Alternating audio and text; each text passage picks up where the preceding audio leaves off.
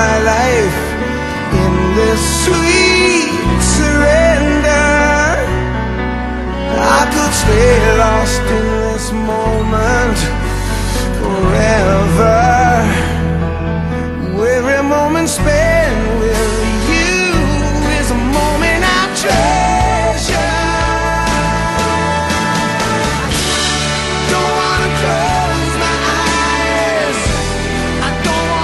경기장에 갈 수는 없지만 온 국민과 함께 우리 대표팀의 16강 진출을 마음으로 응원하겠습니다.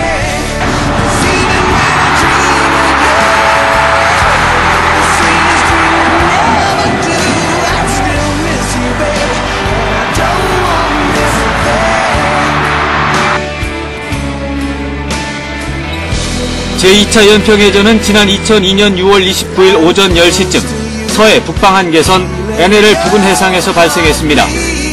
북한 경비정 두 척이 NLL을 지키던 우리 해군 참수리 357 고속정에 기습적으로 함포 사격을 가하면서 시작된 교전은 30여 분 동안 진행됐습니다.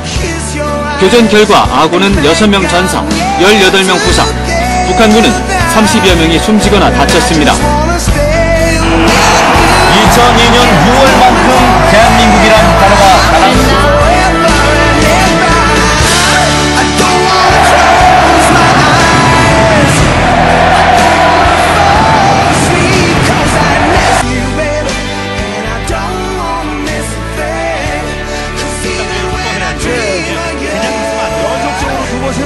들어갔으면요. 들어가 뛴다면은 그때 납니다. 예.